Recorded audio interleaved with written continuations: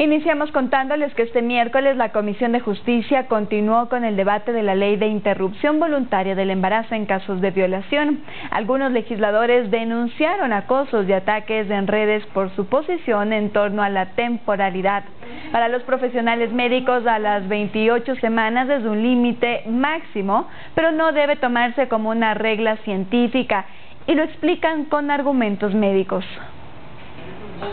Más allá de la polémica, las tendencias y posiciones son radicalmente extremas. Así, por ejemplo, la legisladora Joana Moreira, quien insiste que la temporalidad fue recomendada por profesionales médicos planteando como una opción de 22 semanas, 24 semanas, 28 semanas, que han sido eh, los criterios médicos que se han vertido dentro de la comisión en relación con justamente esto, ¿no? Para que se pueda considerar un aborto y no se pueda considerar un parto. En la otra orilla está Jorge Avedrabo, socio cristiano, quien considera que no es posible un aborto a las 28 semanas, pues ya es un feto formado a los 7 meses y pone su mismo ejemplo de vida.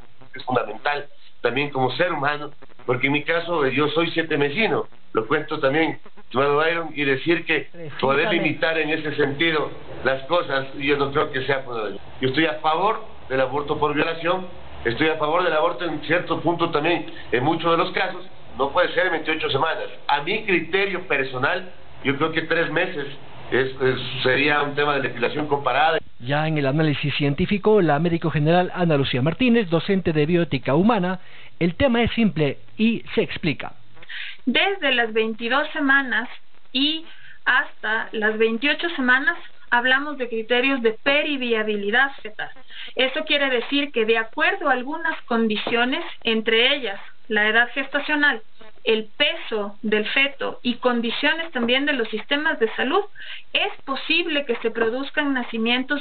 Lo que ha hecho la Comisión de Justicia es legislar sobre el plazo máximo en el que las mujeres mayores de edad podrían llegar a acceder a un aborto no punible eh, por violación desde 1938 que existe el causal violación en nuestro país, es un causal que siempre se ha mantenido sin plazos. El hecho de que se legisle en favor al derecho de decidir de las mujeres y que se dé una garantía de que haya un proceso seguro que proteja y que, y que repare también a las víctimas, no quiere decir que haya obligatoriedad de acceder al proceso de interrupción. Incluso la llamada objeción de conciencia de los médicos tiene sus propios límites legales. Nosotros tenemos una gran cantidad de niñas menores de 14 años embarazadas producto de violación, en donde el embarazo es más riesgoso que el eh, someterse a un proceso de aborto terapéutico y eso está científicamente comprobado. La objeción de conciencia es un derecho que está estipulado en el artículo 12 de la Constitución. La objeción de conciencia debe ser primero personal, es decir, debe pertenecerle a un individuo como tal, instituciones, gobiernos, eh, servicios públicos y privados no pueden declararse objetores de conciencia. Lo cierto es que este es el tema más álgido y polémico que deberá ser tratado en la tercera semana del mes, cuando el Pleno debata su aprobación o negación. Byron Galarza, Ecuador TV.